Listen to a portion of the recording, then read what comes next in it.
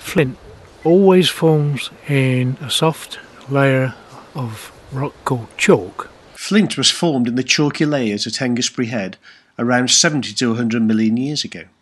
This was called the Cretaceous period. Chalk is made entirely of microscopic marine creatures, many of which contain silica, which is a vital part of flint formation. Chalk is porous, which means that water can run through it. Rainwater charged with carbonic acid seeped through the chalk, dissolving the silica from these tiny creatures.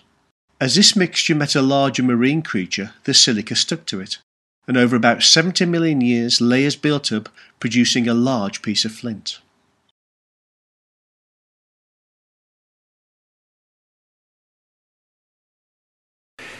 Here is a sea urchin and he's completely embedded in this piece of flintstone.